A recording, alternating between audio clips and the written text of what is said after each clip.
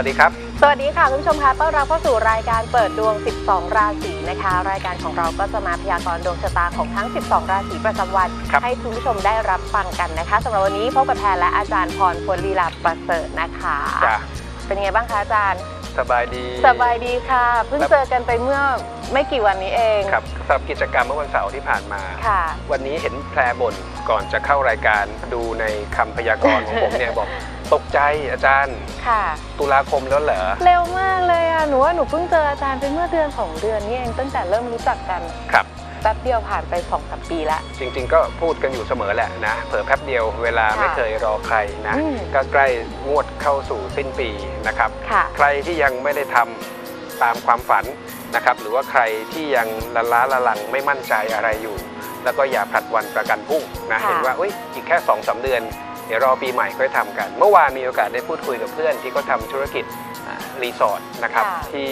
อ่าภาคใต้ก็บ่นเหมือนกันช่วงนี้นอกจากในเรื่องของภูมิอากาศ อ่าฝนตกเยอะใช่คนนักท่องเที่ยวกันน้อยลงครับแล้วก็อีกส่วนหนึ่งก็คือเป็นช่วงเขาเรียกว่า low season โลซีซั่นของธุรกิจโรงแรมและการท่องเที่ยว ใช่เขาบอกว่าเนี่ยสามเดือนที่เหลือนับจากเนี้ยจะเป็นจังหวะเวลาแห่งการกอบโกย ตักตวง แล้วก็อยากค่ะ ที่จะพลิกฟื้นทุกสิ่งทุกอย่าง ก็เป็นกำลังใจให้สำหรับทุก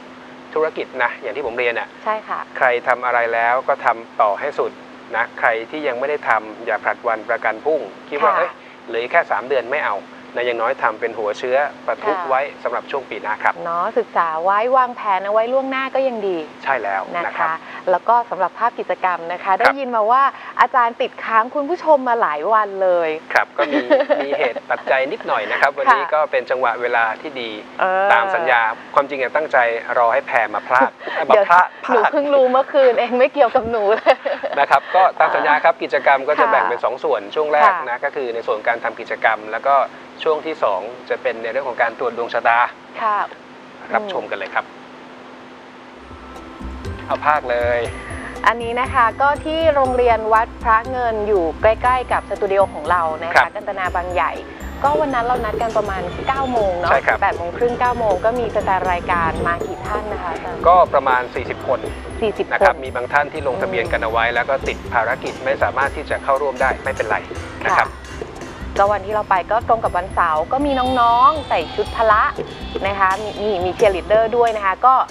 เห็นว่าทำชุดกันเองจ้ะ เนาะเก่งมากนะคะ แต่ว่าไม่รู้ว่าเพิ่งทำหรือยังไงนะคะ สียังไม่แห้งดีเท่าไหร่ เขาเรียกว่าอะไรจ๊ะของปอมปอมๆเนี่ยอ่าที่ก็จะมีปอมๆกระโปรงใช่ไหมจ๊ะใช่ที่เห็นค่ะเนี่ยสีแดงใช้สีผสมอาหารนะฮะผมก็ถามอาจารย์ว่าค่ะ ปลอดภัยใช่ไหมอาจารย์บอกปลอดภัย อืมเขาทำสวยนะคะอาจารย์เหมือนครับจะเป็นแบบพลาสติกอะค่ะใช่แล้วก็หนูไม่สามารถทำแบบนี้ได้เหมือนกันนะ ปกติตอนสมัยหนูตอนเด็กๆก็เอาผู้เนี่ยแหละค่ะมาทำกระโปรง จ้ะ การนี้ภาคเช้าอย่างที่เรียนครับ เป็นในส่วนของการทำกิจกรรม อันนี้คือในส่วนของการทักทายก็ทำงานกับอาจารย์ประพลมานานแล้วนะคะ จริงๆ เราควรจะเป็นลุงเป็นป้าเนาะก็มีปิ่นอนงเจ้าสาวสลัดตั้มใช่ค่ะใช่ตอนนี้กำลังถ่ายถ่ายเอ่อตอนนี้มีเอ่อละครสองเรื่องค่ะ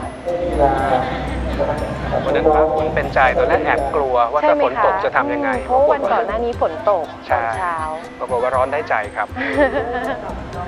แหมอุตส่าห์แบบไม่ทาครีมกันแดด แต่เอาล่มมาครับผิดพลาดเลยค่ะ จ้ะอ่าโรงเรียนแห่งนี้ก็อย่างที่เรียนฮะก็เป็นโรงเรียนเล็กๆนะครับค่ะ มีนักเรียนประมาณร้อยสามสิบคนเท่านั้น ฉะนั้นวันนั้นก็ทุกคนก็ดีใจนะแล้วก็รอที่พวกเราจะไปเขาบอกว่าเต้นกันตั้งแต่7จ็ดแปดโมงเช้าเลยตีกลองกันมันสะบัดเลยค่ะ เราก็แข่งกีฬา2ประเภทด้วยกัน ครับเริ่มที่แชร์บอลหญิง ค่ะ นะครับแพรอยู่ไหน แพรอยู่นี่เห็นไหมคะหนูรับได้ด้วยอาจารย์ปีนี้ฟอร์มดีกว่าปีที่แล้วเยอะตำแหน่งเดิมเลยนะครับ หนูแอบแบบว่าโกงเขาหรือเปล่าไม่รู้เนาะอาจารย์หนูจ้ะ ตัวเรายาวกว่า ปีที่แล้วเราแพ้นะ เพราะว่าเราแข่งกับเด็กมัธยมปีนี้เราเลยปีนี้ เลือกแข่งกับเด็กประถมครับ ปีหน้าแล้วอันนี้เชียร์ลีดเดอร์นะโอ้โหของทางสถานีนะครับ นี่น้องไนท์ วันนั้นคุณครูพละก็ลงมาร่วมแจมด้วยนะฮะนะครับ ค่ะ เห็นน้องๆสู้ไม่ไหวนี่และภาคเช้าทั้งตรีและแพรเนี่ยวันนั้นนอกจากเข้าร่วมกิจกรรมแล้วนะครับ ค่ะ ก็ยังได้นำเอาของรักของหวงตุ๊กนะตา ใช่มาแบ่งปันให้น้องๆ โดยจะบอกการว่าร่วมค่ะเล่นเกมตุ๊กตาของน้องตรีเนี่ย จ้ะ ไม่ได้หามาง่ายๆนะคะอาจารย์ครับ น้องตรีต้องไปหย่อนตู้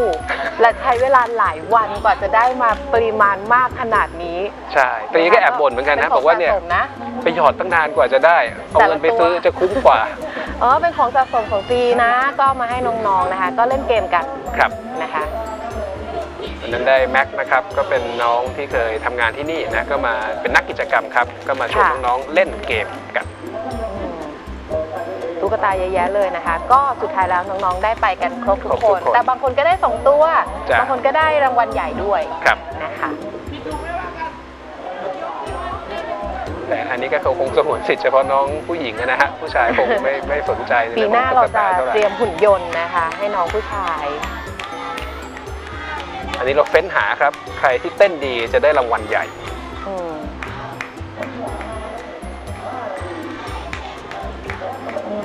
เชียร์ลีดเดอร์ต้องชนะสิคะอาจารย์ครับถ้าแต่ปรากฏว่าตัวเล็กได้นี่อ่าตัวเล็กได้ก็น้องเป็นเชียร์ลีดเดอร์ด้วยจ้ะอ่าลีลาไม่เบาได้ตัวใหญ่ ตัวเล็กได้ตัวใหญ่ น่ารัก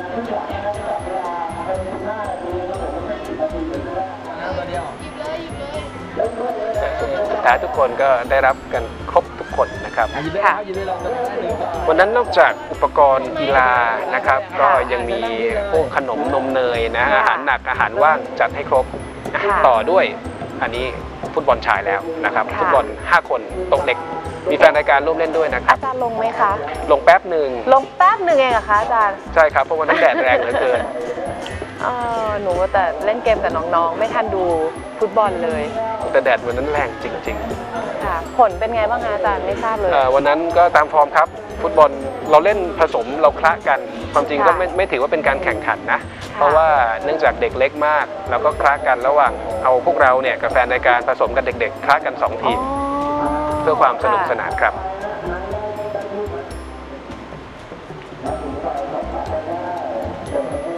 ทีแรกจะถามน้องด้วยนะ ว่าให้พี่ต่อให้ไหมน้องตัวเล็กครับน้องบอกไม่ต่อพูดเป็นเสียงเดียวกันเลใช่ยหนักแน่นมากนะคะ แต่เขาตั้งใจกันทุกคนเลยนะ มั่นใจมากอืมเก่งนะอันนี้ทางท่านผู้อำนวยการนะครับที่เห็นฝั่งซ้ายมือกับคณาจารย์ของทางโรงเรียนอ่าอันนี้แฟนประจำมาทุกกิจกรรมน่ารักมากนะครับทนายค่ะความไม่ว่าจะบริจาคเลือดเลี้ยงอาหารคนชราอืมเล่นกิจกรรมกับน้องๆนะครับค่ะก็ขอบคุณนะสำหรับอ่าอ่าน้ำจิตน้ำใจที่มีให้กับอ่าน้องๆในวันนี้นะครับค่ะ นี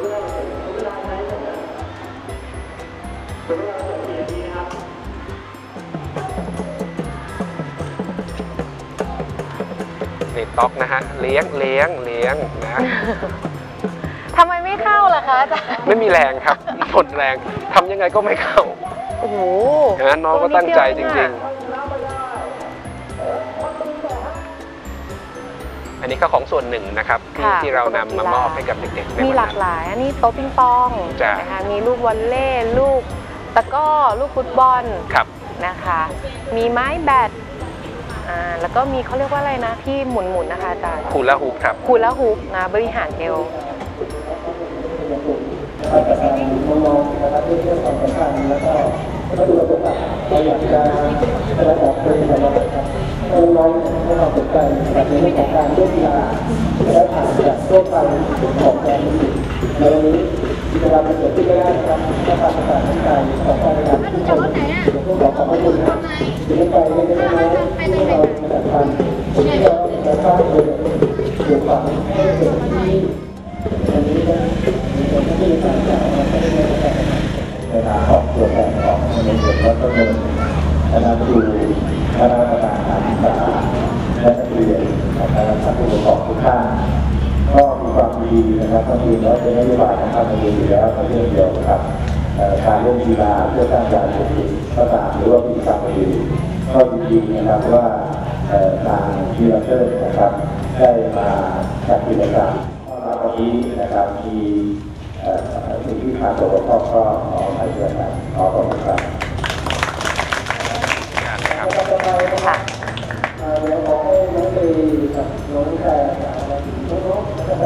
เอาตุ๊กตากับอุปกรณ์กีฬาบางส่วนมาให้น้องๆค่ะแต่วันนี้ไม่ได้เล่นกีฬาต้องแค่หลบแดดอย่างเดียว อาจารย์รู้ได้ไงผลงานนะคะที่เพิ่งจบไปก็เทพบุตรเสือได้หาจ้องสามตอนเย็นเป็นคนก็ค่อยดีแหละไม่ใช่คนเลยที่จบไปไม่ใช่คนค่ะเป็นลูกคุณนะคะออนแอร์ทีวีนะคะทางช่องสามเรื่องห้องหุ่น ค่ะแล้วก็ฝากด้วยนะคะเป็นหุ่นนางรำค่ะ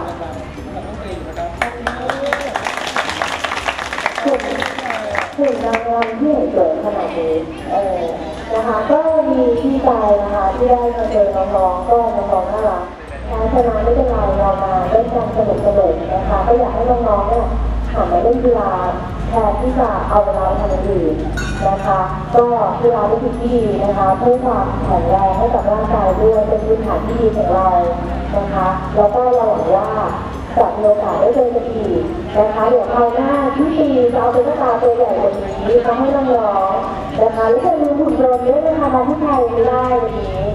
ค่ะขอบคุณค่ะ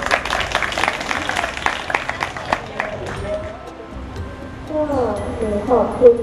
มากนะคะที่นำอุปกรณ์กีฬามามอบให้ทางโรงเรียนเราทำให้พวกหนูมีอนาคตที่ดีไม่ยุ่งเกี่ยวกับยาเสพติดค่ะ ขอบคุณค่ะ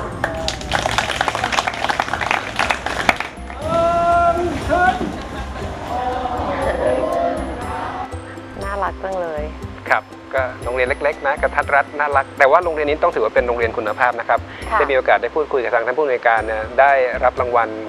หลายรางวัลเลยนะค่ะไม่ว่าจะเป็นจากทางภาครัฐ หรือว่าหน่วยงานที่ทำหน้าที่อ่าประเมินชี้วัด เกี่ยวกับพวกอืมอ่าการจัดการค่ะในเรื่องของการศึกษาที่นี่ก็ได้รับรางวัลการัอนย่างตีน้องเมื่อกี้นะคะ ที่เป็นจ้ะตัวแทนของนักเรียนพูดขอบคุณเราเนี่ยที่แรกอาจารย์บอกว่าจะให้พูดขอบคุณเป็นภาษาอังกฤษ ใช่อ๋อใช่แปลแต่ว่าสุดท้ายน้องๆกลัวเราทุกคนฟังไม่ออกเราขอเป็นภาษาไทยแล้วกันอายเด็กแทนนะคะนี่ครับก็เป็นกิจกรรมในส่วนของภาคเช้านะจ้ะคะ ที่โรงเรียนวัดพระเงินในวันเสาร์ที่ 26 ที่ผ่านมาค่ะนะคะ ซึ่งมีต่อที่ภาคบ่ายด้วย จ้ะเดี๋ยวภาคบ่ายจะดูในเบรกที่ 2 เกี่ยวกับบรรยากาศภาพรวมการเข้ามานั่งดูดวงในสตูดิโอแห่งนี้ ค่ะ แต่เดี๋ยวช่วงแรกก็เข้าสู่ภาคพยากรณ์ดวงรายวันก่อนนะครับ ได้ค่ะอะละค่ะสำหรับดวงเออการพยากรณ์ดวงรายวันประจำวันนี้ของทั้ง 12 ราศีไปฟังกันเลยค่ะ ครับพระรหัสบดีที่ 1 ตุลาคม 2558 จันทรคติการแรม 4 ค่ำเดือน 10 ปีมะแม่ครับ อีสานหรือตะวันออกเฉียงเหนือคือทิศที่เป็นสิริมงคล ส่วนทิศที่ควรจะหลีกเลี่ยงครับหรดีหรือตะวันตกเฉียงใต้ และทิศที่จะมีคนให้การอุปถัมภ์คือทิศใต้หรือว่าทิศทักษิณนนั่นเอง เปิดหัวได้วยชาวราศีมังกรเหมือนเช่นเคยครับ 16 มกราคมถึง 12 กุมภาพันธ์หัวใจไม่เด่นเลยนะโดยเฉพาะคนที่คิดอยากจะมีคู่ประมาณตนนะ ต่างมากวันนี้ไม่ได้ลุ้น คนมีคู่พยายามรักษาบรรยากาศ เลี่ยงการมีปากเสียง ส่วนเงินทองยิ่งขวนขวาย ยิ่งเจอเจอช่องทางครับ เช่นเดียวกับในเรื่องของงานวันนี้หยิบจับอะไรก็สำเร็จ และสีที่ถูกโฉลกค่ะ ก็เรื่องเดียวชัดๆอยู่แล้วนะครับ เน้นความมั่นคงเป็นหลักเป็นฐานสีเลือดหมู ส่วนสีที่ควรจะหลีกเลี่ยงคือสีชมพู ต่อกันด้วยชาวราศีกุมค่ะ 13 กุมภาพันธ์ถึง 13 มีนาคม วันนี้ในเรื่องของงานลดอัตราลงบ้าง อย่ามีทิฏฐินะครับ อะไรทำไม่ได้ ไปขอความช่วยเหลือจากใครก็ไม่เสียฟอร์มครับ ระวังจะมีปัญหาทั้งเรื่องงาน หรือมิเช่นนั้นก็จะเป็นเรื่องคน ส่วนเงินทองก็ต้องพึงพอใจในสิ่งที่พึงมีพึงได้ วันนี้การลงทุนไม่เด่นเลยนะครับ ขยับขยายไม่ได้อย่างที่ใจคิด ความรักหัวใจก็อย่าได้คาดหวัง โดยเฉพาะคนที่เพิ่งเริ่ม และสีที่ถูกโฉลกค่ะ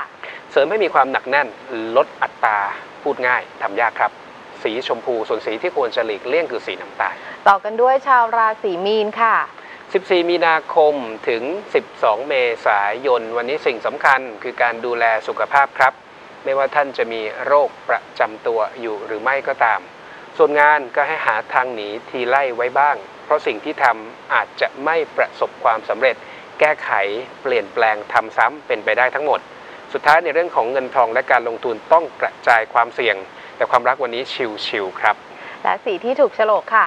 สุขภาพนะมาก่อนสีเทาส่วนสีที่ควรจะหลีกเลี่ยงคือสีฟ้า ต่อไปเป็นชาวราศีเมษค่ะ 13 เมษายนถึง 13 พฤษภาคม อดทน ไม่ว่าจะมีปัญหาอะไร ไม่มีใครดีทุกวันครับ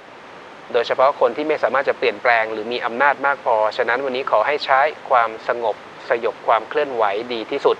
ส่วนเงินทองรวมถึงการลงทุนยังแก้ปัญหาเฉพาะหน้าได้ดีนะครับ แม้ต้องใช้เงินด่วนเงินก้อนก็หมุนผ่าน แต่ความรักหัวใจวันนี้ผ่านได้ผ่านพยายามอย่างไรก็เป็นได้แค่เพื่อน และสีที่ถูกโฉลกค่ะ อดทนคุณต้องหนักแน่น สีควันบุหรี่ครับ ส่วนสีที่ควรจะหลีกเลี่ยงคือสีเลือดหมู ต่อไปชาวราศีพฤษภค่ะ 14 พฤษภาคมถึง 13 มิถุนายนครับ วันนี้เหมาะสำหรับการใช้ความเด็ดขาดนะ ใครมีอำนาจอยู่ในมือเนี่ย การแก้ไขการตัดสินใจ พยายามพึ่งพาตัวเองเยอะๆ ส่วนเงินทองก็ให้ใช้คอนเน็ชันที่มีให้เกิดประโยชน์ โดยเฉพาะในเรื่องของการลงทุน ความรักหัวใจวันนี้เติมความหวานให้กันบ้างนะ เหมือนอยู่กันตามหน้าที่และสีที่ถูกโฉลกค่ะ เน้นเรื่องของชีวิตอีกหนึ่งราศีครับ เสริมให้มีความมั่นคงเป็นหลักเป็นฐานกับสีเขียว ส่วนสีที่ควรจะหลีกเลี่ยงคือสีดำต่อกันด้วยชาวราศีเมถุนค่ะ 14 มิถุนายนถึง 14 กรกฎาคม ระวังมีปัญหากับผู้ใหญ่นะฮะ หรือว่าคนที่อยู่ในระดับตำแหน่งที่เหนือกับเรา ให้ระวังในเรื่องของการละเทศะ การแสดงออก ส่วนในเรื่องของเงินทองภาษาอังกฤษก็ใช้คำว่า wait and see ฮะ การลงทุนต้องรอจังหวะที่เหมาะสม ถ้าไม่ได้ก็ไม่ต้องทำ สุดท้ายในเรื่องของหัวใจเวลามีปัญหาให้ถอยมาตั้งหลักก่อน สีที่ถูกโฉลกค่ะ แหมวันนี้เมถุนตรงเป๊ะเลยค่ะ เสริมในเรื่องของงานกับสีส้มนะฮะอืมส่วนสีที่ควรจะหลีกเลี่ยงคือสีม่วง และต่อกันด้วยชาวราศีกรกฎค่ะ 15 กรกฎาคมถึง 16 สิงหาคมศัตรูของศัตรูคือมิตร แต่วันนี้เหมาะสำหรับการเปลี่ยนศัตรูให้กลายเป็นมิตร การปรับความเข้าใจก็ใช่ การขอความร่วมมือก็ใช่ ส่วนเงินทองและการลงทุนคล่องทั้งสองขาครับ มีศักยภาพในการหารายได้ แต่วันนี้ดูเหมือนหน้าใหญ่ใจโตมือเติบ ส่วนเรื่องของหัวใจวันนี้มีโอกาสได้รับข่าวคราวที่น่ายินดีครับ และสีที่ถูกโฉลกค่ะ เสริมให้มีความมั่นคงเป็นหลักเป็นฐานแต่เน้นในเรื่องของงานนะ สีเหลืองเข้มส่วนสีที่ควรจะหลีกเลี่ยงคือสีแดง ต่อกันด้วยชาวราศีสิงค์ค่ะ 17 สิงหาคมถึง 16 กันยายน ความคล่องตัว ความรวดเร็ว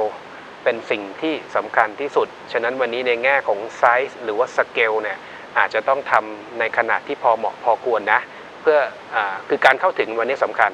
ส่วนเงินทองและการลงทุนสภาพคล่องก็ยังอยู่ในเกณฑ์ที่ดี และวันนี้ถ้าใครมีโอกาสได้ทำธุรกรรม การลงทุนที่เกี่ยวข้องกับต่างประเทศ ถือว่าสมรูป แต่หัวใจทรงๆครับ วันนี้ไม่ได้มีอะไรที่หวือหวาและสีที่ถูกโฉลกค่ะ กระตือรือร้นฮะวันนี้ความรวดเร็วความคล่องตัวการเข้าถึงสำคัญที่สุด สีส้ม ส่วนสีที่ควรจะหลีกเลี่ยงคือสีเทา ต่อไปเป็นชาวราศีกันค่ะ 17 กันยายนถึง 16 ตุลาคม ภาษิตโบราณเขาให้ใช้คำว่าให้โยนหินถามทางนะก่อนจะทำอะไรประเมินสถานการณ์ล่วงหน้า โดยเฉพาะการเริ่มต้นสิ่งใหม่ ๆ ส่วนเงินทองก็ต้องระวังในเรื่องของพวกข้อกฎหมายอาจจะหมายถึงค่าปรับค่าธรรมเนียมก็ใช่ ส่วนเรื่องของหัวใจวันนี้จะมีคนที่อ่อนวัยกว่าเข้าหา แต่ถ้าคุณมีคู่แล้วต้องรู้จักหยุด และสีที่ถูกโฉลกค่ะ เสริมเรื่องงานนะฮะ โยนหินถามทาง สีเหลืองเข้ม ส่วนสีที่ควรจะหลีกเลี่ยงคือสีดำต่อกันด้วยชาวราศีตุลค่ะ 17 ตุลาคมถึง 15 พฤศจิกายนนะครับ วันนี้อ่าทำงานแบบเงียบๆคนเดียวดีนะ ไม่ต้องเกี่ยวข้องกับใครได้จะยิ่งวิเศษเลย ฉะนั้นการค้นคว้าข้อมูลนะครับ การประเมินผล การทบทวนถึงสิ่งที่ทำในช่วงที่ผ่านมา พูดง่าย ๆ วันนี้มนุษยสัมพันธ์คุณสอบตก ส่วนเงินทองก็ไม่เหมาะที่จะเข้าหุ้น จะมีความคิดเห็นที่แตกต่าง ระวังเสียมิตรภาพอันดี ความรักหัวใจทำอย่างไร คุณจะได้รับผลเช่นนั้น และสีที่ถูกโฉลกค่ะ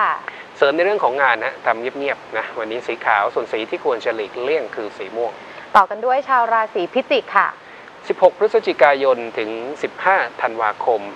อย่าให้ใครดูแลสิทธิประโยชน์แทน อย่าให้ใครดำเนินธุรกรรมการเงินการลงทุนแทน ฉะนั้นการเข้าหุ้นก็ไม่ต้องถาม ส่วนเรื่องงานยังพอที่จะแก้ปัญหาเฉพาะหน้า พอจะมีลูกฟลุกนะครับ ได้อะไรที่ไม่ได้ขาดคิด หรือถึงจะมีปัญหาผลกระทบก็ไม่มากมาย ส่วนเรื่องของหัวใจวันนี้ที่กำลังรอลุ้นจะได้รู้ว่าหมู่หรือจ่าและสีที่ถูกโฉลกค่ะ หลักทรัพย์เงินทองนะ อย่าให้ใครดูแลสิทธิประโยชน์เงินทองของบัตรใจนะครับ สีส้มส่วนสีที่ควรจะหลีกเลี่ยงคือสีขาว มาปิดท้ายกันด้วยชาวราศีธนูค่ะ 16 ธันวาคมถึง 15 มกราคมนะครับ วันนี้งานดีแต่เงินกลับด้านกัน โดยเฉพาะในเรื่องของข้อมูลข่าวสาร วันนี้ไม่พ้องกันนะครับ งานจะได้รับข่าวสารที่สำคัญ โดยเฉพาะการเริ่มต้นสิ่งใหม่ แต่เงินทองรวมถึงการลงทุนดูเหมือนจะมีแต่ปัจจัยในแง่ลบ โดยเฉพาะคนที่เข้ามาแสวงหาผลประโยชน์ แต่ความรักหัวใจทายดีครับ อยากใช้เวลาร่วมกัน โสดเองก็ได้รับความสนใจเล็กและสีที่ถูกโฉลกค่ะๆหลักทรัพย์เงินทองนะครับกบสีบรอนซ์ทอง ส่วนสีที่ควรจะหลีกเลี่ยงคือสีม่วง ค่ะนี่ก็เป็นคำพยากรณ์ของทั้ง 12 ราศีประจำวันนี้นะคะ คุณผู้ชมเข้าไปอ่านเพิ่มเติมกันได้ใน Facebook ของเราค่ะ ชื่อว่า Miracle Channel TV จ้ะนะคะ แล้วก็ช่วงหน้าเราจะมีภาพบรรยากาศครับนะคะสำหรับงานกิจกรรมในวันที่ 26 ที่ผ่านมานะคะ ช่วงบ่ายก็จะเป็นภาพของการดูดวงครับนะคะ ก็จะมีมาให้คุณผู้ชมได้ชมกันนะคะแล้วก็ช่วงหน้าเราจะพูดคุยสายสดกันนะคะ ที่ 024960493 และ 024960494 SMS ก็พิมพ์ PD ค่ะ ตามด้วยวันเดือนปีเกิดเวลาเกิดนะคะครับแล้วก็คำถามที่อยากจะถามอาจารย์พรพศถ้าถามลัคนาราศีก็ใส่จังหวัดมาด้วยนะคะจ้ะส่งมาที่หมายเลข 4221606 ค่ะ ช่วงนี้ไปพักก่อนสักครู่ค่ะครับ